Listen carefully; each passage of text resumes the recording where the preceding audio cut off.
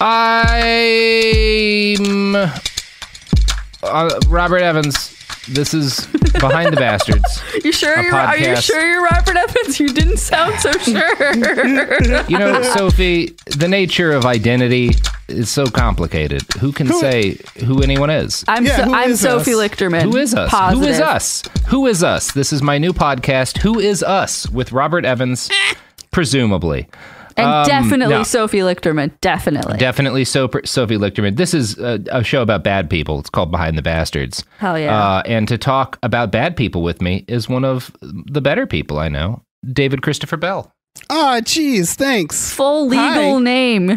Full Now, legal Dave- name. Yeah, just in case You and anybody's confused. Worked together for many a year. We lived together for a, a year.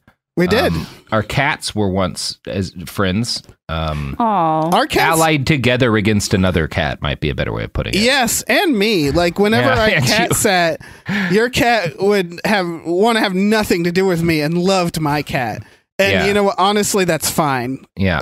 Uh, I'd rather it be that. Uh, yeah, cat allies. Cat, li- cat, cat lies. Mhm. Dave, how do you feel about libertarians? Oh no. oh. Uh, People know that you don't tell the guests anything, right? They sh- I, that the show would not work if we told the yeah, guests guests anything. come in cold intentionally. Sometimes they know the broad subject, but I don't even like that. But- That's not my preference. But that bit is so good, it'll never get old. What do Mm-hmm. you think about insert heinous thing here? yeah, Um, libertarians. My thoughts are like anything, the most vocal people representing it are Mm-hmm. Yes. incredibly irritating. Yes. But I suspect there's a lot of very good ones who keep to themselves. I, I I was a libertarian for many years. I still think there's a lot of good stuff in uh, I- in some of the things libertarians say. I think know? John Carpenter might be one, but he that might not even know that. John Carpenter. Um, yeah. Today we are talking about the most vocal ones, and and specifically the most kind of unhinged vocal ones.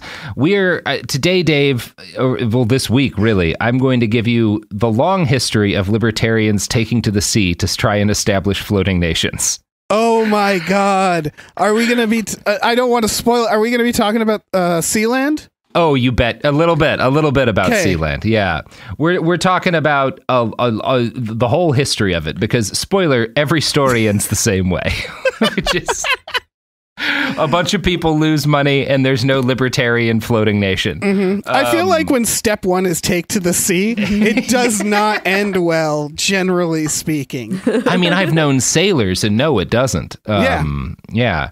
Uh, I- so Oh, sorry. I, I just I have a blanket view of the ocean. I don't think it wants us in there, and it doesn't don't want think we us should in be there. in it. we're not we we don't belong there and if i mean you know uh we'll, we'll talk about why people do this and yes for the folks who want to there's always people who want to be like pedantic about like i don't know if this one's really a bastard or like we'll do like two episodes on like we recently did two episodes on like industrial level child molesters and then Mm. we did an episode on a guy who was like an early fitness influencer and just like kind of shitty about eating disorders and people are like well they're not really like this doesn't really make yeah they're not all gonna be guys who raped 5000 kids you know what kind of show that would be a bad show people Yeah. would not want to listen every week Yeah, so absolutely. we're going to talk about libertarians taking to the sea to build their own nations. and yeah, most of them are shitty people, so it's fine. They belong here, okay? Speaking of which, we're going to start by talking about Peter Thiel. So, Peter Thiel, PayPal co founder, um, monarcho libertarian, uh, quasi fascist influencer um, on a grand cash scale. Um, And, you know, just, just man about town, Peter Thiel uh, is He's- bank. Yeah. He's running for president, or he's running for senator under the name J.D. Vance, I believe. Yeah, he is currently Yeah. running for senator under the name J.D. Vance. Dark money kingpin Peter Thiel Mm-hmm. um, has been on a couple of occasions has shotgun money out towards bankrolling an exploratory round of seasteading experiments um, in libertarian utopian living. Seastead, seasteads in general, that refers to self-sustaining colonies of like floating um, homes basically. So sometimes it, it could be a boat, it could be like a little island of these weird little hexagonal like housing units that float. There's a bunch of different designs around there. Um, everybody's kind of arguing about what the best version of this is, but a lot of libertarians think seasteading is the future, and Peter Thiel has put a not it's not significant to him, but significant amount of money to normal people into backing uh, different seasteading projects. And the basic idea um, is that with a seastead, you'll be in the ocean, so you won't have to you won't have to um, uh, abide by any nation's law. So all of these different things, ideas libertarians have about taxes and and gun laws and age of consent laws, um, Oh, mainly age of consent laws, um, won't won't apply. They can you can you can try to you can really. It could be. I think there's an idea that, like, well, if you get enough people out in the sea living living the way we think people should live, everyone else will see that it works, and then our ideas Right. will take over. Right? There's a number of different ways that get sold to people, and um, yeah, it's It's, pretty- Waterworld rules. yeah, it's Waterworld rules. Um, one sec, I have the wrong document open. I just realized. That's fine. You want me to just uh, talk about Waterworld for a little bit? Yeah, talk about Waterworld for a second, Dave. I mean, I, I imagine it's Waterworld rules down to like, yeah, Kevin Costner being like a shitty dude who like. At one point, I think he's gonna barter the woman and child that he's with. He sure does. That is a moment in that movie. Yeah. Yeah, that movie's terrible. So, you may have heard, Dave, that in September of this year, The Guardian published an article about the doomed voyage of the Satoshi, which was a cruise ship a bunch of libertarian crypto nerds had bought and tried to turn into a floating city. Did you catch this story? I vaguely caught it. I think that's one Yeah. of those headlines that I was just like, not today. Yeah, Uh, not I don't today. have time for this one. It's it's very funny. Uh, it's it's it's a pretty hilarious failure. We'll talk about it in detail later. But like when this when it went viral that like libertarians were trying to like create their own independent nation on a boat uh, in the middle of the ocean, a bunch of people started bringing up Bioshock. Have you played Bioshock? I, I, weirdly enough, I've played Bioshock Infinite. Okay. Uh, I do. I do remember. I played a little of the first one, and I, I Yeah. do recall that he is making an ocean city in that. Yeah, yeah, it's a libertarian. I haven't played the game either, but I'm familiar as an internet person with the basics, which is that it's like a libertarian underwater city that goes disastrously wrong and everybody murders each other, right? Yeah. Um, yeah, that's the basic idea.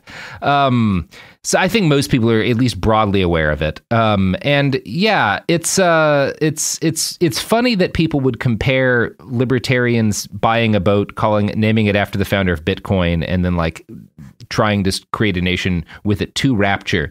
Because the reality of the situation is that like Rapture in Bioshock, which is that libertarian city, was itself like inspired by about like 60 years of libertarians trying to make cities and boats um, in various parts of the open ocean. Like, Right. it- yeah, like it, it, it- It's, a not that- satire. like it Yeah, was made as a satire. it was made And as a satire. Yeah. So you you wouldn't want to like watch the satire and be like, hey, that's a good idea. I should model it after that. yeah, Uh, it's, it's missing the point. Yeah, it's missing the point, but it's also funny to me that people are like, "Oh, this is how ridiculous some of these people are that they like inadvertently did the thing that happened in this video game and was like clearly a bad idea." Um, and the reality is that the video game was just kind of making fun of the fact that they keep trying to do this. This is like this is this is like two of our lifetimes of a, a certain kind of libertarian trying to make a boat nation, and it never works. Um, but it's always very funny. So the history of this, this this this long-standing d- like drive, more than half a century old, to like create an habitat in the ocean that libertarians can try their ideas out in. That goes back to the golden age of science fiction. Specifically, it goes back to a guy named Robert Heinlein. Um, Heinlein most famously wrote Starship Troopers. Um, he's also one of the founding fathers of modern libertarian politics. He like helped create American style libertarianism. Um, he was a fascinating guy. He was kind of like Gene Roddenberry in that like a number of his his science fiction books at the time were like ahead of the curve on things like racial justice and not in a way that is particularly impressive today but he had like a habit of like he'd make his protagonists not white dudes um, but not make it a big deal it was just like you know this this this guy's hispanic and that's just a thing that's going on which was not super common at the time um, Progressive for its time, basically. for its time there's also some racist as hell stuff in some heinlein Oh, books yeah. but yeah, Oh, yeah. Um, I'm j- I'm not trying. I'm just trying to give you an, an idea of like why this guy is is uh, stuck out to people.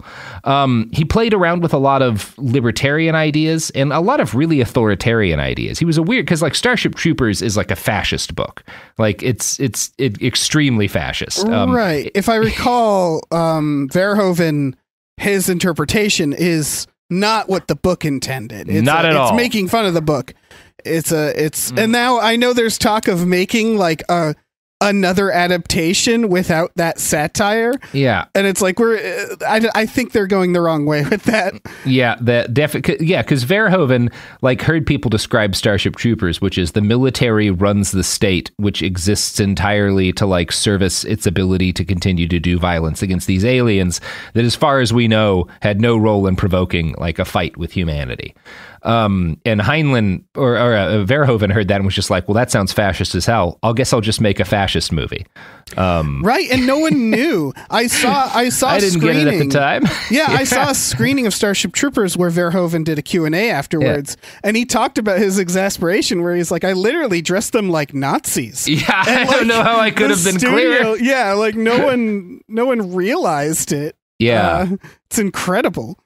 Yeah, and it's uh, some of what happens with Robert Heinlein is also incredible um, because, so in addition to some fascist stuff, Heinlein plays around with a lot of libertarian ideas, which is a big part of why he's remembered today. His book, in particular, "The Moon is a Harsh Mistress," is like a lot of people would consider it a foundational text for like the American libertarian movement. It's a it's a very influential book. Um, and to kind of describe what happens in the book, I'm going to read a write up of it from the Baffler. Heinlein's own apparent anti government ethos is channeled through the elderly Peruvian born professor Prof. Bernardo de la Paz. Prof is one of uh, among hundreds of outcasts, outlaws, and outsiders inhabiting underground colonies on the moon, or as it's known in the late 21st century, Luna. Prof's cheap comrades in arms are an Amazonian blonde rabble rouser, Wyoming Knott, and a one armed computer technician, the narrator hero Manuel Garcia O'Kelly Davis. The ragtag trio spearheads a revolutionary movement to make this ramshackle outpost for the marginalized into a self governing nation free of the repressive rule of Earth. So there's like you, see why like this this is attractive to people right? There's this idea there, there's a lot of like libertarian politics in it. There's also weird stuff like there, it's a mix of congress is dumb and like governments can't get anything done and also monarchy would be cool. Oh, um yeah. I mean, I get the, uh, like, every year when I pay taxes, I become Yeah. a libertarian for a second. Like, I get it. I Mm-hmm. understand the government's extremely frustrating, and there's something very appealing Mm-hmm. about going off and starting your own thing. I absolutely get it. Yeah, it's like in the DMV, everybody is a libertarian. Or Uh, Yeah, anarchist. exactly. Like you're you're just ready to burn it all down. Yeah. Um, but no, and what what's interesting there to me is kind of like with Starship Troopers, people take like a weirdly like the the the Moon is the Harsh Mistress is about like people who are part of who are living in a colony that's being oppressed by a government, rebelling in order to become independent, and seasteading, which is heavily influenced by this book, is about sailing to the ocean to just hide from the government and and mine Bitcoin. So I think there's a difference. I, I don't think I don't think they're necessarily reading Heinlein right. That said, Robert Heinlein probably would be into seasteading, so perhaps I'm the one that's wrong here. Sure. Um, it also seems like uh never a good policy to like start your belief structure from a fictional book or a work Yeah. of fiction because Yeah. it's it's not the writer isn't intending it to be something that you're you you take like an instruction manual i assume uh, so it just seems like a recipe for disaster in general Yeah, I mean, I'm sure like Heinlein was playing with ideas that were interesting to him and that some of which he thought should be instituted. Like that's pretty common in in fiction with a political edge. But I don't think I don't think he was um, seeing it as being as influential as it was in the way that it was. I think he'd be bummed that it's mostly been used for people to steal money from other people in order to not build boats. I think he would be un- unhappy with Yeah. that. yeah that's i think that's fair Um, so yeah, you can see the influence of the Moon is a Harsh Mistress and, and of Heinlein in general, and like Elon Musk's plans to colonize Mars, the crypto weirdos making an, an NFT cartoon about apes flying to another planet to set up a colony, like all of this, it, it, it's a common theme in in libertarian kind of angled fiction ever since.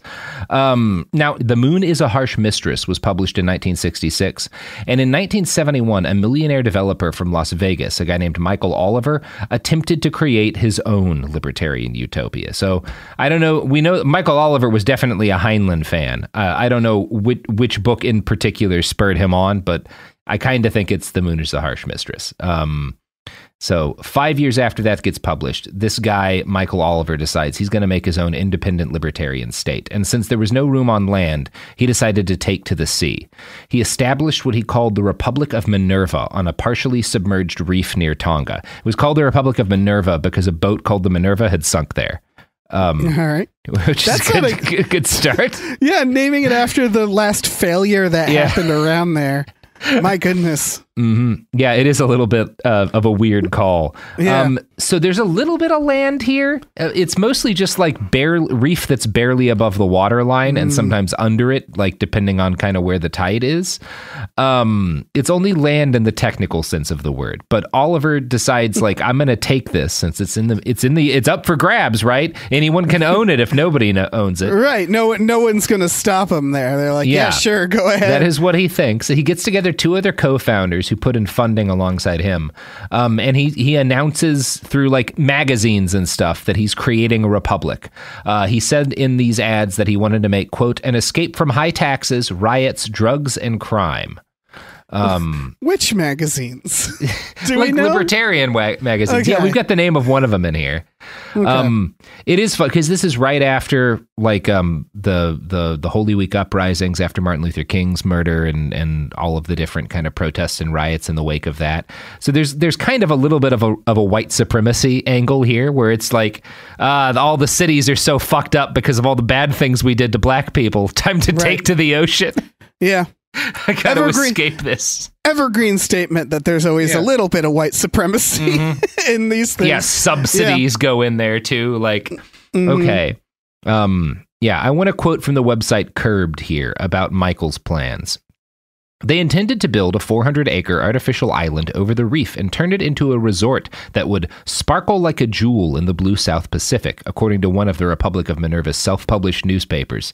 They hoped to attract tens of thousands of residents and base their governance structure on zero taxes, no welfare, no subsidies, and no economic intervention. A coin collector and a real estate investor, Oliver used much of his own wealth to establish the Republic of Minerva. Soon after sending a Declaration of Independence, another founder, Morris Davis, built a tower of stones on the reef and planted a flag, a golden torch set against a blue background, for the new country on it. Hmm. So they got a flag now. They got a little stone tower and a flag. That's step one. You get That's your step you get one. your flag there, then you're good to go. I do just love that this guy, with his experience speculating in real estate and collecting coins, is like, I can make a country. Right. I, I could be the founding father or something. I got It this. seems easy enough. It seems I mean- those founding fathers, they weren't anything until I mean, they yeah, I mean, honestly, you look at like George Washington, and it's like it, it is just kind of some jackass being like, "Yeah, I Yeah. think I can make this work." yeah, they're just a bunch of dudes who hung Mm-hmm. out like at a bar. Uh, yeah, it is funny, but you That are right. Every country was just founded by a bunch of dudes at a bar. Right. It's for me it's with the libertarian stuff. It just always seems like they're going to accidentally invent government every time, right? Like funny you should say that, goes. Dave, because that Yeah. happens in every one of these stories. yeah, So because they're like, how do we pay for things? I don't know. Maybe everybody gives a little bit of money. Like they start slowly stumbling on the same Mm-hmm. Conclusions. It, it's the same thing that's happened with cryptocurrency. Is like because all these people get all of their money stolen constantly because there's no protections or safeguards, and then there's no recourse if all of your money gets stolen. And so people have like created things like Coinbase and, and Crypto.com that are places where you store your money and you have a guarantee it'll be protected. It's like when and the whole Lyft thing is was like, we're getting out of the bank system. Right. It was like Lyft was like, we're creating shuttles that go from point A to B and everybody pays a little bit. And it's like, do you mean a bus? Mm-hmm. Are you talking about a bus? yeah, but more expensive. Yeah. That's the the the genius innovations of liber. It's very frustrating. Uh, just once, I would like to see some libertarians innovate in their community, but I don't know. uh, filling in potholes um, or altering the speed limits on on an interstate that has speed traps. Um, go go do something. You don't have to. Don't, don't just go. Don't don't try to make another boat city. It's not going to work anyway. Yeah. Whatever.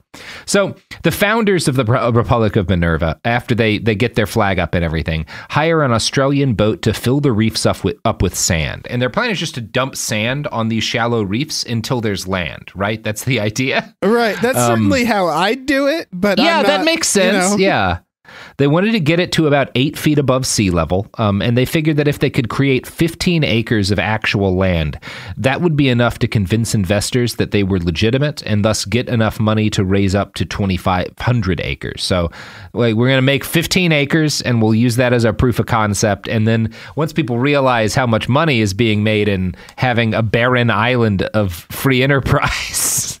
with no resources other than sand, um, they'll come crawl. Uh, they'll co- the money will pour in. Absolutely. Yeah. There's no taxes. Is there fresh water? Well, no. Can you can you grow food? Not really. Is there shopping? No. But no It's just taxes. Yeah, Yeah. look at all this land we got. hmm We can play like volleyball and stuff. Yeah. It's cool. Tax free, baby. Yeah. Um, that said, like, there's ways it might have worked, especially if it actually had, if they'd got somehow gotten UN recognition and if rich people could just claim to live there and not pay taxes. Like, I could see how this could be a money making scheme, and it might have been a money make sch- making scheme that worked, if not for one thing the existence of other countries. no, That was, no. the, that was the one thing they didn't take into account. those- So Damn other countries. these these these barren shoals that they're trying to pile sand onto are a little, uh, you know, I think just a couple of miles off the coast of Tonga, which is an island in the South Pacific, an island that has a government, Dave, and a military. Right. And as Tonga would. These foreigners creating what like uh, uh, looks like they're trying to create a new country right outside of Tonga on land that uh, on land that like their naval vessels patrol and is like, well, we're not really okay with this. It's like uh, I'm imagining like looking through binoculars. Like, uh, Yeah. I better call somebody about Uh, this. you got to do something about this, huh? If you don't, if you don't get rid libertarians, if you don't get rid of them quickly, you're just Yeah. gonna have a nest of the bastards. Ah, darn, we got libertarians. Wait, social or free market? Nah, free market. God Yeah. damn it! Get the brooms out. Let's Get shoo the them away. spray. Yeah, libertarian spray. Uh, are they at least mutualists? No. God damn it. Yeah. Um, so the the head of state of Tonga sent them a letter basically being like, "We're not going to let you set up an empire on our doorstep. That's that's not okay." So Yeah. the first thing Tonga does is they start airdropping just random boxes of aid supplies onto the the reef in order to establish ownership, right? Like if our government provides a service to this barren reef, then clearly it's part of our territory. That's also like a really good way to insult libertarians. I feel like it's like Mm-hmm. here, have some help, and they're like, we don't want help. God damn it! Like Also, that's none of perfect. them what were a there. flex. Oh, okay. no nobody's there at the time. Maybe some they- crabs. Maybe some crabs got some free food out of this. Yeah, this is absurd on the side of Tonga too, because they're literally just being like, "Well, okay, let's drop random supplies on this island with a population of zero. Then it's ours suddenly." Like Right. again, like cryptocurrency does kind of accurately get across to people like, yeah, money is nonsense. Like it's all Right. it's all it's all a fucking con game. We're all LARPing. Yeah. At- at so every so are time, actual yeah. governments, to be Yeah. fair. Like y- you see it in this where they're like, "Oh, they're saying that's theirs. Well, we never cared about this piece of nothing before, but now let's drop some random crap on it so it's ours." it's very funny. Um so uh, th- this did not succeed in dissuading the libertarians. They still continued to claim that they were a republic. And so in June of 1971, the King of Tonga used his military to officially seize the land, which again had nobody on it. The dream of the Republic of Minerva died. But the grift did not die because grifts are eternal. Michael Oliver started minting coins for his country after it was taken back by the Tongan government in order to raise funds to. I guess reconquer it. It was kind of unclear what the money was for. Like, I was gonna say, So are you going like to invade Tonga? retaliation. yeah.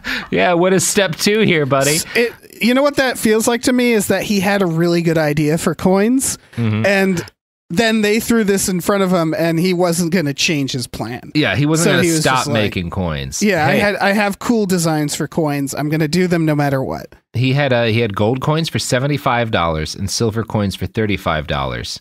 Um, and I should note now that these are Minerva dollars, seventy five Minerva dollars, um, and thirty five Minerva dollars. So I don't know the actual value. I'm not certain of the exchange rate. Right. This is like Um, when uh, Usher was it Usher who was handing out his own Usher bucks. At, Yes. Uh, yeah, sounds like Usher. These are Usher bucks. So he advertised these these Minerva dollars um, as late as 1975 in austere publications like the Libertarian Review. So the Tongan government takes him out in 71 and 75 he's ta- selling Minerva dollars under the tagline the world's most unusual new country, inspiration for the most unique metal coin ever minted. Hmm. Yeah. It is unusual So, to have yeah, a he- country with no people that gets immediately conquered. That that guess- is not common. Yeah, I'm not sure how else you'd sell it by being Yeah. like, "This is fucking weird, right? Yeah. You want a piece of this? Yeah, we made some calls, didn't we? Yeah. That said, if anyone can find any Republic of Minerva coinage, um, I would love that. Uh, Yeah. I, they come up online for sale sometimes, but I haven't found any recently. I feel like ironically they're now worth a lot because It's probably like just- a problem, like how expensive they are. Yeah, oh yeah, they're probably just a collector's item. yeah. Um, collectors for fans of horribly failed grifts. Yeah, I'd be lying if I said I wouldn't get one Yeah. just for fun to have it like on on my shelf or something and have a little story there. Yeah, I I, have a friend who got very excited to buy an Enron mug. You know, it's just Yep. yeah. Some of the some things are exciting. Yep. Um, yeah. So, uh, moving on from there, um, I, I I should make a note because we're starting with the Republic of Minerva, which I think is the first example of the thing we're talking about today.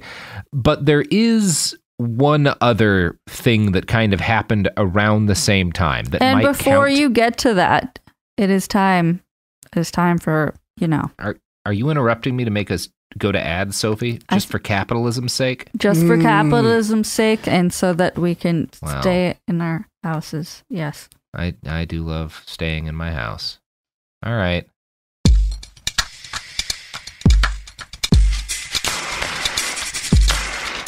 Oh, I do love a good house. Um, I love a bad house. Just a big fan of houses. Um, house music. Oh, so good. Oh, perfect. House MD, the TV show. Oh also yeah. good. Yeah, great, great, great. Uh, great vehicle for um Hugh Laurie. Hugh Laurie. That's his name. I Yeah. haven't seen him in a minute. Yeah, what Sounds happened to right. him? Oh. You know, there's an episode with Jeremy Renner in House. Oh no, I'd Oh. forgotten. Yeah. Goodness, I remember this. It's all coming back to me. Oh, Yeah. God, what a tragedy.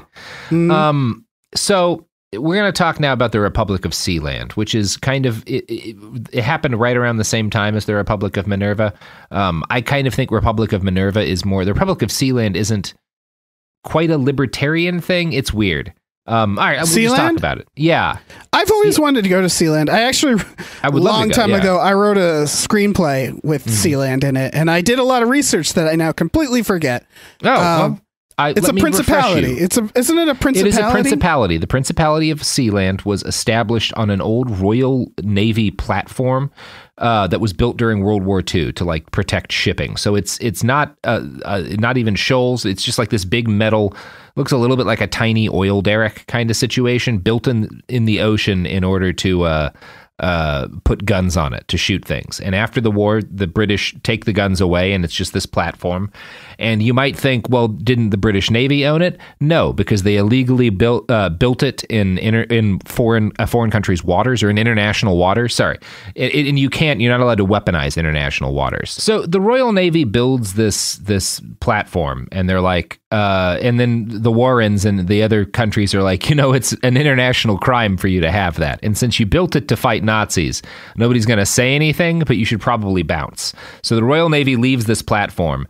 Um, and in 1965, um, in, the UK has all these really harsh laws about what can be played on the radio and not. So in the 60s and 70s, there's a bunch of pirate radio stations that will like take to the sea and illegally broadcast music that can't be played normally in the UK. See, one of that's these cool. that that's fucking rad That's as hell. just like pump up the volume, this, man. This Like, uh, story's yeah. The Principality of Sealand. There's some rad shit here because it first gets inhabited when a pirate radio crew in 1965 occupies the platform, um, and it looks like a couple of them get in there. And in September of 1967, a British citizen and radio pirate named Roy Bates occupies it, and while he's broadcasting illegal music from it, declares it an independent principality. Um, there's a whole fun story here. Mercenaries get involved at one point. There's like a civil war in Sealand, basically, Yep. and a government in exile. Um, a lot of a lot of wild shit happens in Sealand.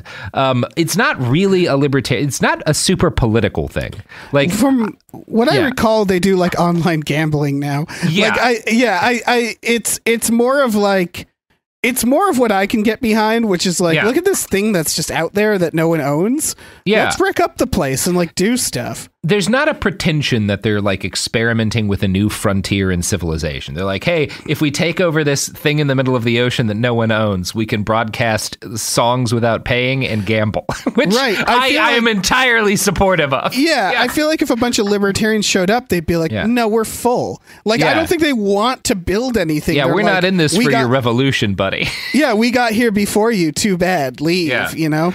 And Roy dies. His, I think his kids are now running everything. Like it's basically like a gimmick branding opportunity for the family. I'd call it. It's there's a roadside attraction vibe to it, even though obviously Yeah. getting there is a nightmare. Um, so yeah, uh, you've got Sealand, you've got the Republic of Minerva, late '60s, early '70s. But for obvious reasons, the libertarian dream of taking to the sea to avoid regulation it was clearly present that early, but it had to wait until the internet age to really take off. You know, uh, people try this back in the day, but it just it's really hard to build a libertarian boat city without modern technological resources. I should say it's hard to grift people into crowdfunding a libertarian boat city that never gets Yeah. built It's that idea without that there's resources. like right. There's like there's probably like a couple thousand people who will buy your grift. The Yeah. problem is they're spread out throughout yeah, the world. there, there's not the- many in each town. Right, and the internet has made it. You know, instead of being the person going town to town selling tonics and whatnot. Yeah. You can just like blast it out on Twitter, and then they they all come to you. yeah, otherwise you'd have to go person to person and ask like, "Hey, has anything bad ever happened to you?" And then if they mm-hmm. say no, say, "I got a deal for you." Yeah, exactly.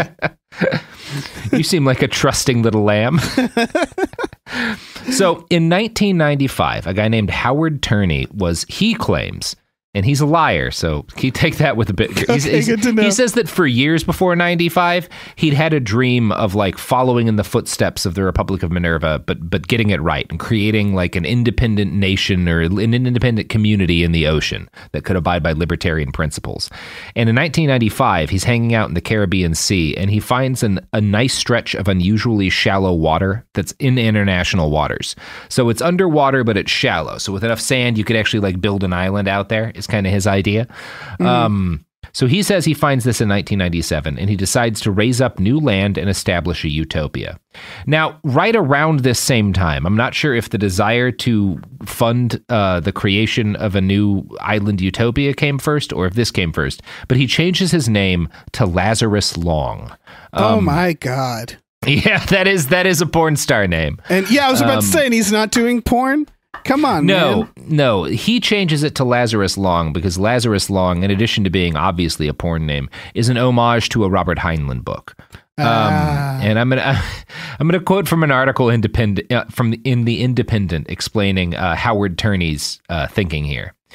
He decided there were too many Howard Turneys around, and anyway, as he puts it, Prince Lazarus has a ring to it. He took his new name from a character in Time Enough for Love, a novel by the American science fiction author, author Robert Heinlein. I admired his philosophy. It was so close to my own philosophy, as he says of his fictional antecedent. The Lazarus Long of Heinlein's epic saga is centuries old and lives in a world where aging is a thing of the past. His philosophy amounts to a series of pro individualistic slogans that can fairly easy, easily be said to represent the thinking of the man who created them. Heinlein coined the phrase, There ain't no such thing as a free lunch, and among his other catchy aphorisms are, All men are created unequal. Taxes are not levied for the benefit of the taxed, and beware of altruism. It is based on self deception, the root of all evil. Huh. Yeah. So okay, so going back to so Lazarus Long. You mentioned there about people like living forever and it, like that's what That's what's Yeah, going on, right? The Lazarus, like that was a that's a reference to like Jesus resurrecting people. Yeah, for sure. And then long as in long. yeah, like he a long, look just a long, you know, like long Dave- life. He just wanted to make sure he had that double. in, like- in the golden age of science fiction, subtlety had not yet been invented. we, we hadn't we hadn't cracked the nut on being subtle. So yeah, every character. I mean, let's be fair. The We're founding the founding fiction piece for a cyberpunk, the the most influential piece of science fiction in in decades was hero protagonist. yeah. Yeah. No, I mean, two Yeah. of the biggest sci-fi things is Star Wars Yep, and Star, Star- it- Trek. yeah, The one both of which leave very little to the imagination. Yeah, and the one where they explore in space. Mhm. It's yeah. We're not good at that. But like We're- at the same time it sells, it works, so Yeah, you don't need to be. Look, if the if the story's good, people will forgive a shitty title. Yeah. Um, I don't know. I haven't read this Heinlein book. Maybe it was good. Hmm. So before his name change, Howard had been a small town kid from Bowie, Arizona, who'd worked briefly as a cowboy before becoming an entrepreneur. He had definite narcissist vibes, telling an interviewer once, "It took me a few years to realize that I had more intelligence than the average person and more imagination." this is funny because he speaks to all of the guys who try this, and literally all of their experiments in creating new nations are the same and all in the same way. So I, I love the fact that he's like, Yeah. I'm more imaginative than the average person. I mean, it's You're one of the the biggest same red buddy. flags. Yeah. Like if anybody's like, I'm smarter and more imaginative than most people, I'm like, all right, Well, I'm gonna walk the other Yeah. way now. eh, we don't need to be having this conversation. yeah. Yeah. So Howard was a successful businessman. He made money in the restaurant industry and then started marketing products for grocery stores. He farmed shrimp, he repaired and sold generators. He's just like makes a bunch of different businesses. And then in July of 1990, when he's 59, he reads a report in the New England Journal of Medicine about HGH or human growth hormone. Um, and the study showed that World War II vets injected with HGH lost body fat and gained muscle mass. So Howard starts selling G- HGH, like he's he's like selling s- steroids basically to people. This is the thing that like Joe Rogan takes. Um, and uh, he he sells it for like 18 months before the pharmaceutical industry realizes there's profit to be made um, and starts like selling them officially. Um, so Howard like gets builds a clinic in Mexico um, in order to sell HGH to bodybuilders. Excellent. So And the then- pharmaceutical company Yeah. was like, "Wait, hold on there. you can't do you that." can make money off this. We're People will buy this that. shit. Yeah. yeah. Um, yeah, so he gets rich selling HGH as one of the first people selling HGH. Um, so it's exciting that like supplements have been with with us for a while in the libertarian space. so um, he Prince Lazarus uh, again. That's how he's known when the Oh, story my starts. God. I know it's amazing. Pays four hundred thousand dollars of his HGH money uh, into the New Utopia project, as he calls it, which is his plan to build an island in the shallow part of the Caribbean. Uh, he estimates the total project will cost two hundred and sixteen million dollars. So, like literally every other dude in our story, and yeah, they're all dudes. He starts Mm-hmm. trying to raise money to fund this. Um, he raises it through what's called the New Utopia Development Trust, which he registered in Belize because they don't make you pay taxes. Sure. Uh, when journalists would question whether or not this was all just a grift, he would assure them that neither he nor his governors were members of the trust, which he said was independent and would only give a small percentage of construction costs to members of the government, which Hmm. I'm sure was completely true. I was gonna say, seems on the level. Totally nothing. Seems on the level. nothing weird here.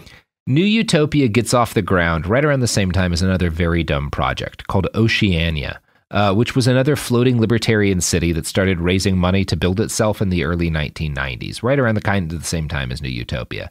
I haven't found much about Oceania. Uh, it never got off the ground as more than a website, so I'm not going to talk about it in detail, other than to reference how the Prince. You have to call him the prince.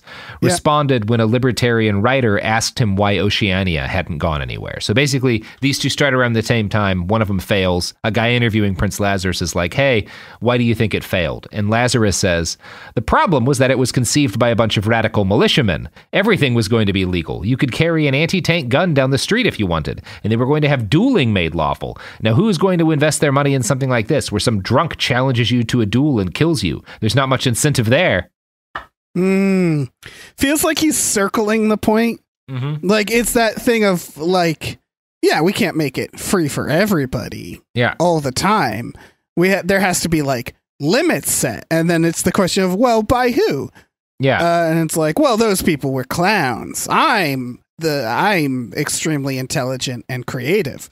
Yeah, and it's I'm I'm not I'm not obviously My coming from, the perspective of that like the only way to have a society is with like a top down government, but you you you do have to think about it more than like everyone can just do everything, and it's, It's- well. What yeah. do you do if someone starts killing people? You have to have an answer to that question. like, and right. it says a lot that none of these none when these guys find themselves asked that question none of them propose anything new they just wind up recreating the government um, as Yeah. it exists so it's like well you don't actually have any ideas you just don't want to be told what to do but when you're angry at someone else you just do government shit again They want to be at the top. It reminds Yeah. me a lot of when people are like back in the day are like this forum is bullshit. I'm going to create Mm. my own forum and then they end up doing all the same stuff yeah because it's just that they want to be in charge. Uh and that's that's how you make 4chan. Like it's just uh it's it's it's just like you either if you do complete lawlessness it's very hard to maintain that, right? you have to uh, like you have to have an idea about what you want to replace the laws and if your only idea is i don't think i should have to pay taxes and and should be able to sleep with 12 year olds um then your society is not going to have you're not going to have anything ready other than well i guess i'll do what i just left when a problem Right. happens It's Yeah. it's it feels the same as starting a cult because yeah it, well it kind of is It Yeah. is. Yeah, because it's always like if I would be fine if someone was like, "Look, I just don't want to be bothered. I'm Yeah. going to go into the woods and I'm going to live off the land or in this case off the ocean and I won't bother you and you don't bother me." The problem is that then it becomes this whole thing where Yeah. they, they like want other people there and they think they think that they can make some sort of new government and it it it's like depressing to say it's like yeah it's all sort of we've we've thought it all up Yeah, that's And- the th- that's the thing. If you if you're not coming to it with like here is if you're only saying I don't think these things should be present, but you're not saying I think we should do this instead, then you don't actually have an idea. You're just angry because things that exist are imperfect. Um I think there's there's a if all if these guys are being like, hey, we're going to start a new society in the sea, and here's how we're going to deal with violence, and here's what, what how we're going to decide what's restricted, and here's going to be the community accountability. Okay, well maybe that'll work. You guys clearly have an idea other than I don't want to pay taxes or Right, have it- subsidies. yeah, yeah if you're creating some sort of yeah com- communal system where everybody but yeah this feels if you very just much have a plan, right? Like right it feels very much the idea that they their ideas stop short of i want to be in power like Yeah. it, it's still it feels like a power grab Yeah, I think Um, it's yeah. The hope is I think well, I think for most of them it's just like trying to make money. But yeah, I think for a lot of people it's the idea that like, well, I, I'm I got in too late to wind up ahead in where I came from. But if I create a new place out of the sea, then I can be the king there, or Right. literally the prince. And again i feel like we've all had that instinct Sure. uh, to take to the sea or to go in the woods and be like, you know what? Uh, I'll, I'm gonna stop all of this. I'm just. But then once you, if you get into that scenario, then it's like, oh no, how do I actually survive yeah, doing this? I mean, when I bought 1,300 acres in Idaho and then cut off all of the power and internet access to that small town, um, Mhm. I thought it was going to be simple. Uh, Right. But it turns out people need all sorts of things you don't it anticipate. sounds simple. Yeah, It does sound simple. Um, but my God, for one thing, Dave, I don't know if you know how expensive it is, but digging six foot holes, uh, the size of a human body, real Mhm. problem. Anyway, And if you um, get other people, people are real whiners about that Oh, stuff they too. hate digging corpse holes. Yeah. Um, and they, they get pissed just because you blocked food from any. What would it's a it's a real problem. But the Yeah. point is, I thought about it more than these guys did. Um, Mhm. because I didn't have to already make land because there's lots of Idaho. Uh, Right. Yeah. So. And who gives a shit about that land? Yeah, you can go out there and just do whatever mhm. for a while, and then For and a then, while. and then you know the It's authorities get so far, involved. Yeah. Okay, good. That's well, good to know. yeah, there there there are some laws. Knocking on the Um, door. so yeah th th but what we just talked about is like this thing you notice a bunch is that like they don't they always default to doing things the way they're done in the world they left when a problem occurs and they don't have the only ideas like political theory ideas that they seem to want to institute are like not paying taxes. Um, and in fact prince lazarus was one of the most blatant about this. He bragged that new utopia would quote out cayman the caymans as a place to hide wealth. So he was Eh. very open about this is just for rich people as to use as a tax shelter. Um, Citizens of New Utopia would pay no taxes, just a $1,500 five year bond that both buys you citizenship and promise to pay 9.5% annual interest to the bearer. So you're an investor if you're a citizen. Um, Mm. So that's good. No way that could wind up with a situation that becomes slavery, like if people who come there and don't have the bonds have to pay in labor. I don't know. A number of ways I could see that going. Oh yeah. Oh yeah. In interviews, the prince compared this positively to the $55,000 a person had to pay in order to become a citizen of Belize for tax purposes, which is a thing you only know when you've become the citizen of another nation for tax purposes. Lazarus's goal was to get 4,000 citizens to fund startup costs, and by t- the time the Independent interviewed him in 1997, he had almost 500 backers. So, you know, that's half a million dollars, more than half a million dollars Yeah, it's not bad. six seven hundred thousand. So if he actually did invest four hundred thousand, he's got a good rate of return already. That was the year Prince Lazarus began agitating for UN membership for his country, which oh, again t- had too no far, people. man. Or yeah. yeah, he's he's trying.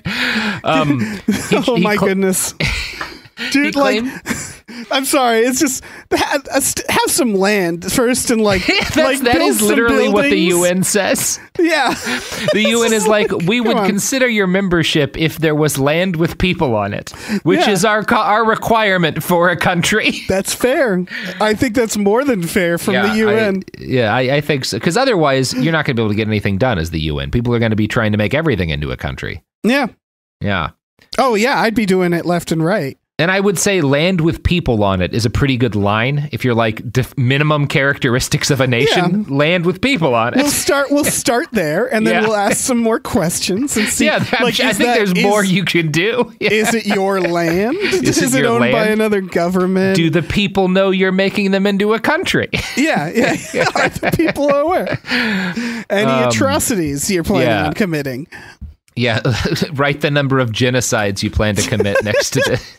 And listen, if it's more than one, that's okay. A lot of countries have A, done a lot of most countries really are on the Yeah. three to five There's this- There's that instinct to put a zero, but it's like Yeah. we're more concerned with you being honest at this yeah, it's point. it's like if you put nothing on your customs declaration coming into the U.S. Like you can get away with a lot of shit if you're like, yeah, I bought some stuff. Like, Ugh, I came through customs once and he asked if I brought any illegal drugs, and I answered with, I don't remember, which is not the right answer, it turns out.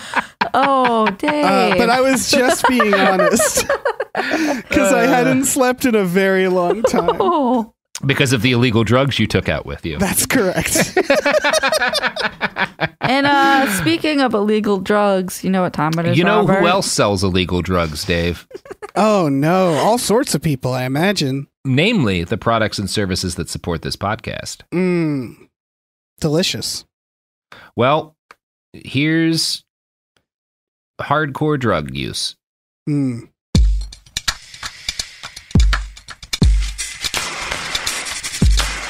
Uh we're back and we Good are ads. we we just smuggled some shit into the country, then some shit out of the country, then we kind of we kind of squ- square danced with the country a little bit. Um, Yeah. it's been it's been good good times. So Prince Lazarus decides Tonga sent their military in to take the last libertarian island nation that we tried to establish. I don't want that to happen to me. So I'm going to get UN membership. Then I can't be invaded. Um, famously, a thing that happens when you're in the UN. Right. You don't you don't get invaded. Um, but that that's what he decides to do, and he do, he starts trying to raise money from libertarians, saying, "I need a hundred million dollars before the UN will accept me as a country." That is Hmm. not how it works.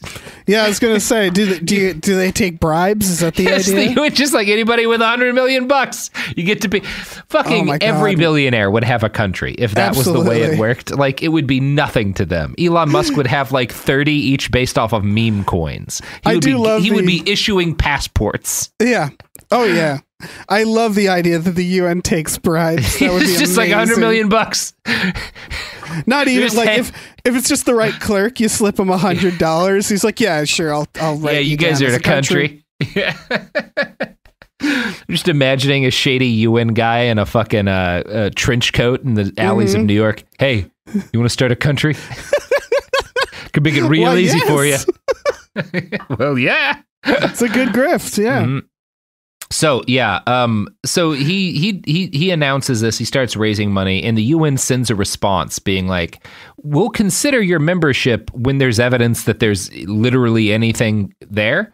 Um, this pisses off Prince Lazarus, and he lashes out, telling a reporter that he didn't want to be in the UN anyway. "Quote: Oh, They're trying to implement worldwide banking rules and regulations that are not in keeping with the philosophy of New Utopia. Plus, they have a refugee policy for all their members. As a new little country, I cannot afford boatloads of people from Central America or Cuba or Haiti coming to my shores because I have no welfare system and I have no plans to have a welfare system.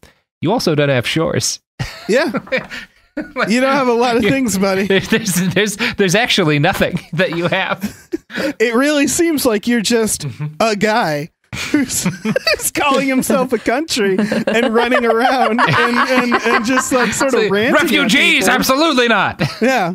Oh.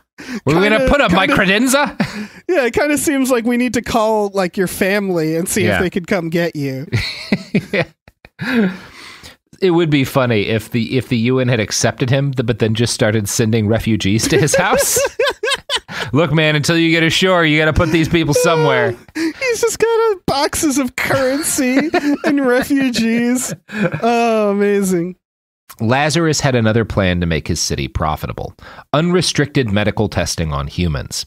His Sure. HGH business had gotten eaten away when Big Pharma hopped on the HGH train, and so Lazarus next got interested in anti aging medication. When he was interviewed in 1997, he told the reporter that he had secret knowledge of upcoming anti aging developments. Quote, There are things on the horizon that people today can only dream about. We are not that far from being able to live multiples of what we look at now as the human lifespan.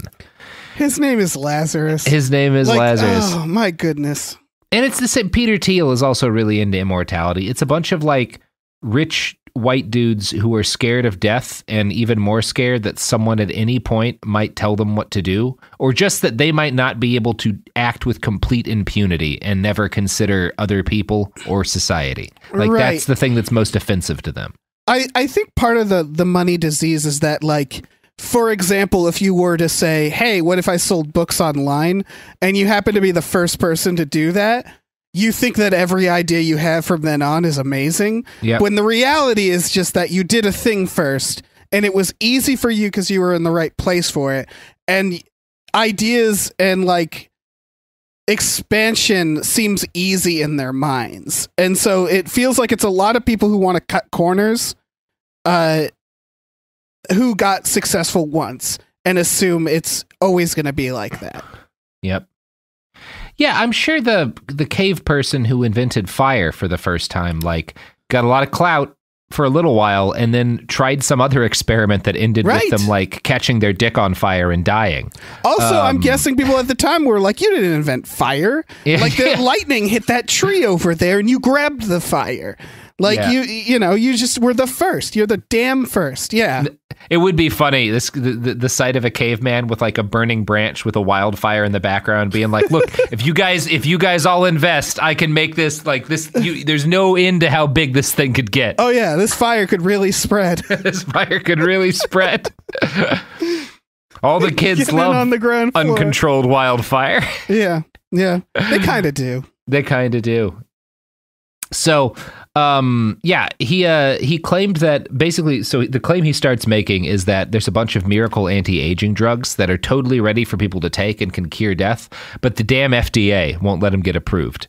Um, right, and so New Utopia, what'll make it profitable is once they get this island built, you can sell these unapproved drugs to anybody. Um, and that'll that'll that, so he's like that's why I think rich people will invest because they want my anti-aging drugs. right god it just Um, keeps getting better and better Yeah, it's it's very funny. Yeah. Um next from the Independent, quote, Later this year, if everything goes to plan, a construction company will begin pouring piles at 30 foot intervals into these virgin reefs. Then precast concrete platforms will be placed on top of them. And on top of these, a city will be erected. Plans for the initial stage of development include 1,200 apartments, a 350,000 square foot shopping mall, five hotels, a bank, a 150,000 square foot medical center, a casino, a convention center, and a university offering scholarships to students from every country in the world. There will be no taxes in New Utopia, with the single exception of an import duty tax on consumable goods. Nor will there be any kind of welfare system. A constitutional sovereignty, the country will be run by a board of governors appointed by the prince himself. Currently, these governors are scattered all over the world, awaiting the time when they can formally take up their posts. All of them, the prince told me, are experts in their chosen fields. Oh my! really wish we knew who those guys were. Oh God, yeah. Imagine going out into the world with a degree from Mm-hmm. New Utopia Community College. and being like, no, it's a real thing. Trust me. My guess, and uh, uh, I, I, I would, I would wager to bet that of the governors who are experts in their field, he hired to run his his country, not one of them knew how to do things with sewage. Absolutely Like I. I'm, yeah. I'm just certain there was no one, there were no thoughts given to like, well, what about all the poop? yes, I, I really get in like that that vibe that they would build the city and then they'd be like, wait, what do we put under this? Like they they, they would not have started there. yeah, At all. I, I, I, my guess is that they would have just shat straight into the ocean and like Mhm. killed all of the sea around it and formed like this disease-filled poop bog that the Oh, libertarians. Yeah. I think that Well, that's, that's, my what guess. the ocean. It's right there. I get. It is I get right it. there. You I just walk it. into the ocean, do your business, and walk Mhm. out. That it would be the benefit of living at sea. It's self cleaning. Yep. So the first phase of construction is uh, was scheduled to be completed uh, by the start of September, um, and uh, of September 1999, and on December the country's first birthday celebrations were going to be held. Um, it would start with the cla- the crowning of Prince Lazarus. Uh, then he would bestow titles on those who had helped create the new nation. Oh, Uh, there would be celebrity guests and an inaugural speedboat Grand Prix. Um, so they had a lot of they had a lot of ambitions. Um, oh my goodness, they Yeah. sure did. yeah, they they really did. Um, but of course, New Utopia never got off the ground. The Securities and Exchange Commission eventually declared it a fraudulent nationwide internet scheme. And this is like 97, so this is a, a really groundbreaking fraudulent on, uh, internet scheme. Yeah. Like, not a lot of precursors at that point, really. I love that it's like we have downgraded your new utopia to internet scheme. Yeah, to fraudulent internet scheme. The stark difference between what he's selling and what it actually is is pretty Yeah. amazing. It's extremely funny. Yeah. Um, yeah, the SEC ruled that there was like no evidence he'd even tried to figure out how to construct the project. Like, I don't even think Lazarus Long ever wanted to make this. He just wanted to get a bunch of money. Um, now, the fact that the SEC, like, if he was real, the fact that the SEC had declared it a fraud should not have stopped him if he was really motivated to make this thing. Uh, and in fact, he had told a reporter in 1997 that there is nothing, no law that can stop me. If for some reason it's slowed down or postponed, I'll still make it happen. It's something that needs to happen. Lazarus Long died in 2012 at age 88, unable to obtain the immortality drugs he desperately needed because he'd never gotten his country built, Dave. That's a shame, man. It's a real tragedy. Imagine yeah, the if only got that country going. Yeah, that's probably his last thought. yeah, if, only I'd got gotten my New country. Utopia started. Maybe that's what was going through his daughter, Elizabeth Henderson's head, when in 2017 she announced that she was restarting New Utopia and that the project would Oh. have a completed floating city by 2021. That's heartbreaking. Now, Dave, as we record this, we've still got about six, seven weeks left in 2021, so she could pull it out. She could pull She this could. out. She could make it Honestly, happen. I have more sympathy for her. Uh, and you know, if I can help in any way I can, I'll, I'll yeah, I'll, I'll help with this floating city. It's Yeah, fine. she she probably had a lot to deal with. I'm guessing. Yeah, I'm just thinking like you're raised in that environment, and then you you Yeah. probably love your your father, and Most you want to honor them, and it's like I'm getting into the family business, yeah, um, or it's I'm getting into the family business of committing stealing money online, from libertarians. Yeah. which is probably what it actually is. But I like I like to hope she's a true believer, and is Yes. like I'm gonna make this floating city. God damn it! Yeah. Um. So yeah, 1997 is when the New Utopia project like both started and blew up. Um, it was also the year that the first boat-borne libertarian sea nation concept really got started. So you had these guys trying to make platforms and islands and stuff in the middle of the ocean. Now we're going to have some libertarians. They're like, what if a boat was a country? Uh, They're just like, guys, we've had boats this whole time. yeah, What, why don't we boats just already exist. Let's make one a country. Yeah. The Freedom Ship was the dream of an engineer named Norman Nixon. In the early 1990s, right around the same time as Lazarus found his shoals, Norman had, Norman had the brilliant and totally original idea to create a, com- a planned community on an island outside of the U.S. Unfortunately, wars kept breaking out around the islands that he wanted to choose, so he was unable to pick any of them. Norman decided then to build his own damn island. He brought on specialists to help him sell this idea, including a marketing director who asked him, If we're going to build an island and we're going to put some houses on it, then why not make it move? Oh my goodness. I just, you know, you were talking about reinventing the government, just like working back from island to boat. yeah.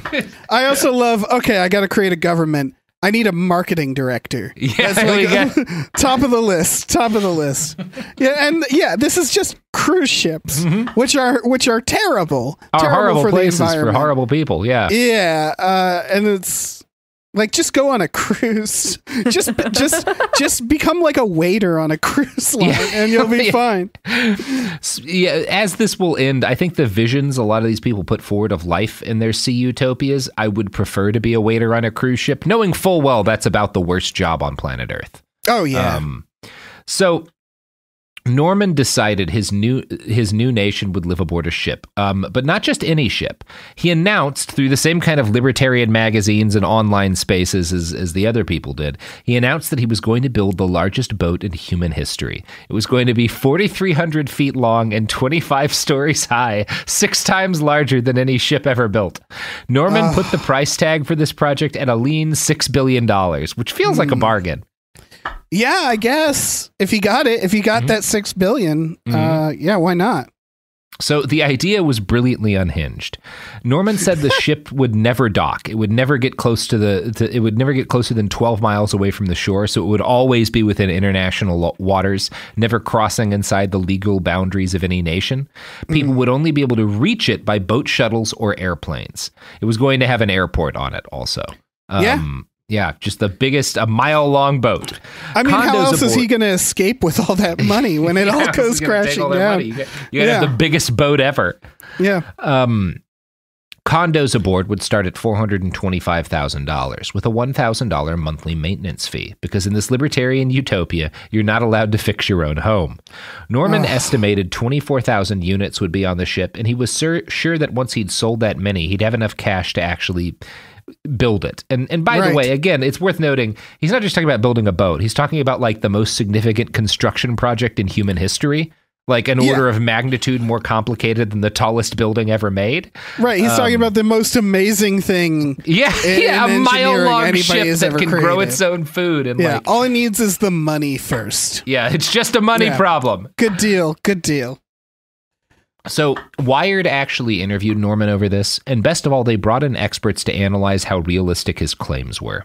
Quote, I don't imagine that people would buy this and would live on this thing for the rest of their lives. They would see it as a sort of vacation home. I could see a lot of criminals buying condos, said Gene Feldman, an, ocean- uh, an oceanographer with the NASA Goddard Space, Space Flight Center. Based on his own experiences living on ships and small islands, Feldman said, It's very different living in an environment where you have very definite boundaries. You can see the extent of your world, and that does something to your brain after a while. You lose your sense of time and space. Oh no. He's just like, I don't think they're thinking about what it would be like to live forever on a boat that never gets closer than 12 miles to shore. They're creating their own prison. Yeah, like you're making thing. a floating prison for everybody. Going back to Waterworld, that's not a cheery look at the future. No. Like us all living in the ocean would be exhausting. Yeah, there's a lot that you have to. People aren't supposed to be in the ocean, as you so astutely noted, Dave. So It you have to adapt a lot to it. Yeah, it literally pushes us out of it every Mm-hmm. time we try to go in. It, it doesn't want us. We it, we can't drink it. It's filled with monsters. Leave it alone. Mm-hmm. Leave Just it be. leave it alone. Leave it alone, toss some car batteries into it, and get on Yeah. with your day. Give it a car battery or two. hmm For Uh, the uh, eels. yeah. For Yeah. the eels, yeah, exactly, or the dolphins, Mhm. uh, Yeah, whatever, they want to do with it. It's their car battery now, you know. yeah, Like, once it hits the ocean, they own it. Yeah. Um, which if that if we actually made that law, they might have enough nukes to stop us from destroying Mhm. their environment. Um, so They just it- need thumbs. That's the Yeah. one thing they need. I think they could figure it out. They're Mm-hmm. smart. Um, in media, sort of like uh, blasts and whatnot, Norman and his agents bragged that their floating island would be a huge tourist draw, with more than 10,000 hotel rooms available, casinos, printing companies, furniture outlets, department stores, all tax free. They were particularly bullish about the promise of taking an American style mall around the world, so foreigners could shop just like us, but on a boat. Did he say? selling point? Did he? Did you say printing companies? Yeah. Where it's like there's casinos and restaurants. Also, you can make copies of stuff. Yeah, there's a Kinko's. Yeah, yeah, yeah. yeah. Like Yeah. no government interference with you Yeah. doing your. You can your- print anything you want. Yeah, printing your zines. Even tasteful nudes of well, then we get into the age of consent stuff again. Um so as it happens, the Liberty Ship organizers plan to go ju- just go ahead and use U.S. dollars as their currency. Um, this was justified That's because it was easier. like Yeah, everybody values dollars, we'll just use those. I get it. Like money, money. Do that later. Do that. Yeah, we, we've I don't want to live seen. under the tyranny of a nation, but like, I mean, you know, dollars. Yeah. It's hard to again. You inventing your own money. It's just. it's yeah tough. It's it is it's a whole thing. If you're convinced that people need money you might as well just use money that already exists. Mhm. um, although now we have crypto which we'll talk about in a little bit. Oh, so- good. even though the ship planned to stay in international waters the liberty was going to fly the flag of a nation. This is a requirement for international maritime law.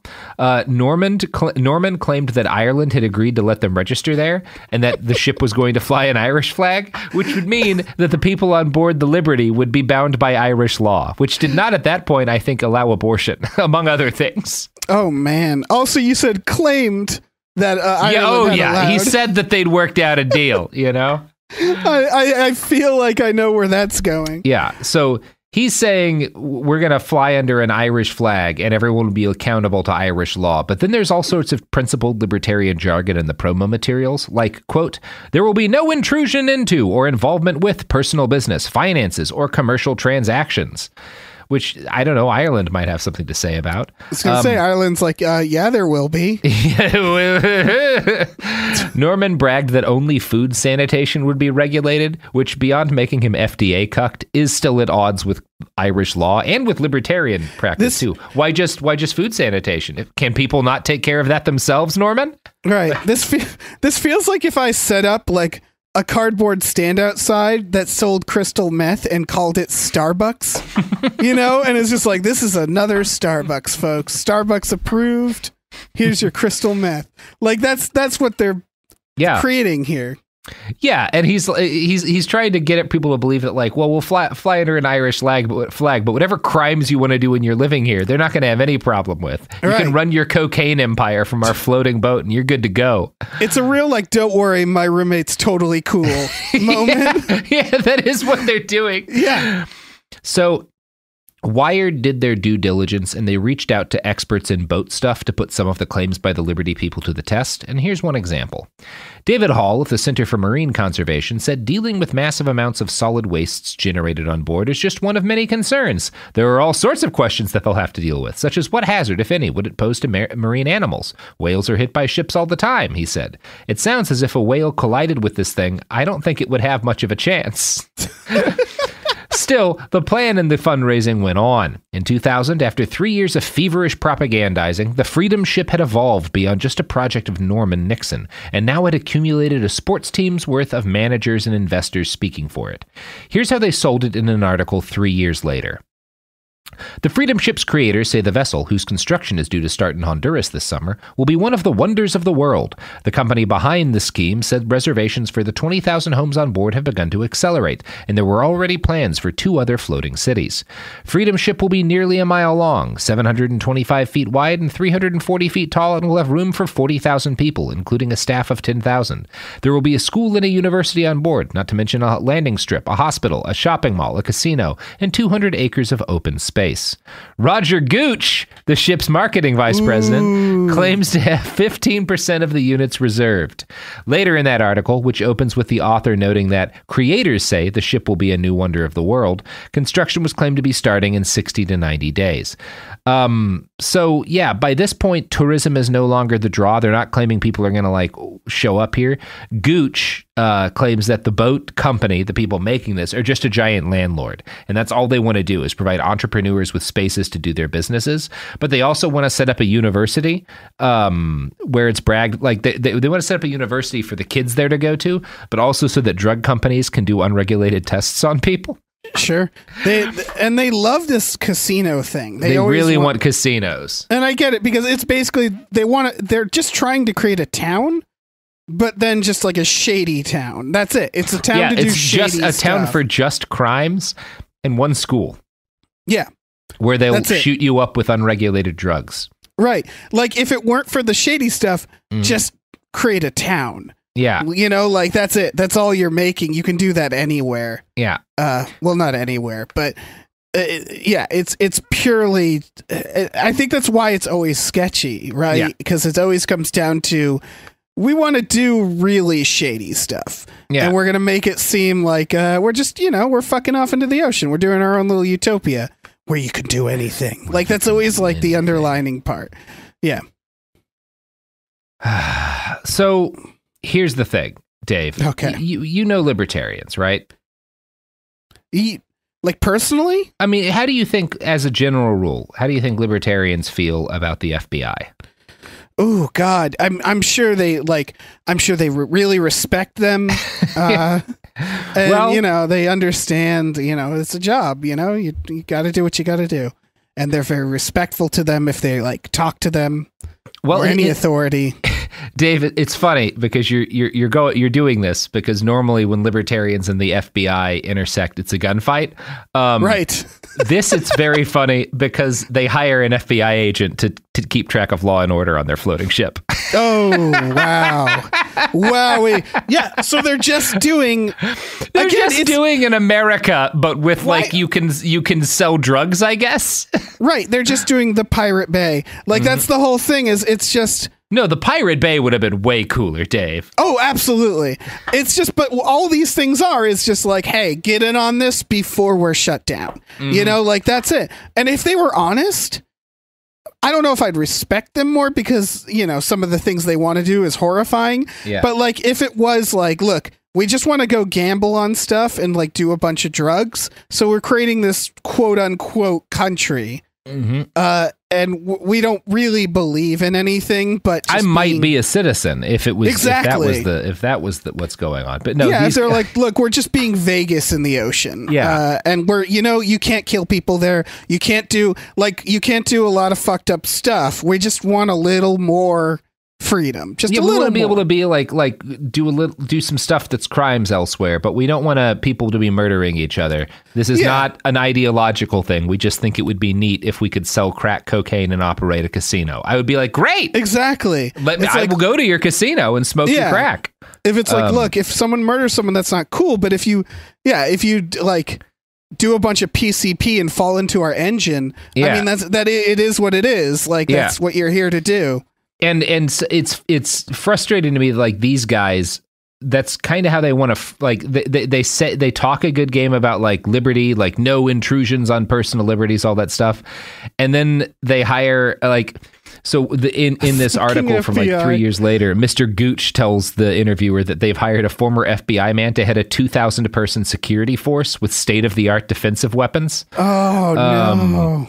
Yeah, uh, and different. He, he talks about how like oh, different every deck and floor will have their own elected representatives, but also the captain's word will be finer, final. So it's like, so you want to have an ocean dictatorship run by the FBI with guns, and Or no one else like- gets guns, and you're calling yourself a libertarian?